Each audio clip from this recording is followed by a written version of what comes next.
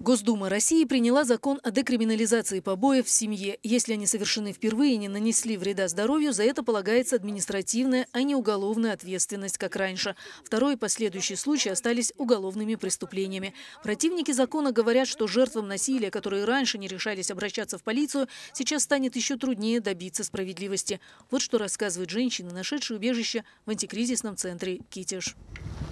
Он пытался меня повешать, он пытался меня зарезать ножом, он избивал просто ногами по,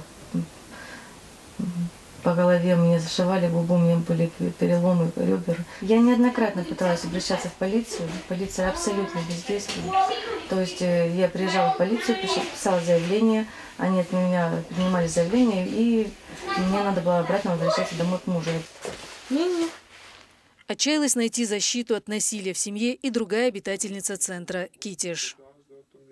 Я в полицию написала заявление, что у нас вот так получилось, что он меня забрал, забрал мой паспорт, хотел меня в квартире закрыть.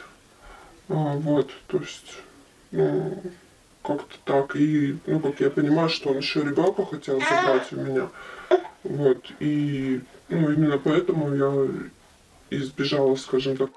Сторонники документа призывают не приравнивать все семейные конфликты к насилию. Они говорят, что и административная ответственность за первичный проступок достаточно строга, тогда как прежний закон, предусматривавший до двух лет тюрьмы, был слишком суров.